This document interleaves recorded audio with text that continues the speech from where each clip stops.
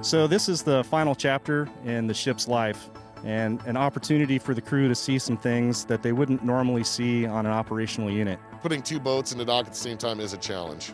It's, it's difficult with one, then you add you, you, add a second one. It just increases the uh, the complexity of the process. So the difficulties of docking two boats at the same time is the window of time. We have to bring one boat in, get it in position, and then focus on the other boat, and we only have so much time to do that. I'm actually quite excited that we're going to run both projects concurrently.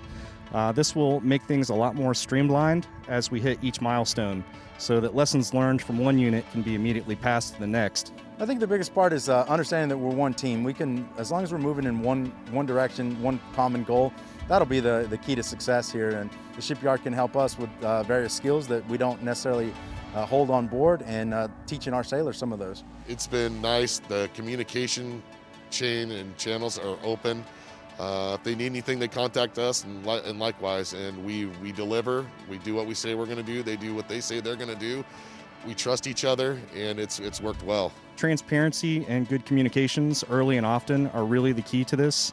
Uh, the inactivation is a team sport, so we are working quite hand in hand with the project. Working with this project team for as long as I have, we are not just one team, we are one family. And the groups perform at such a high level to show that the, COVID, the pandemic's not going to stop them from working.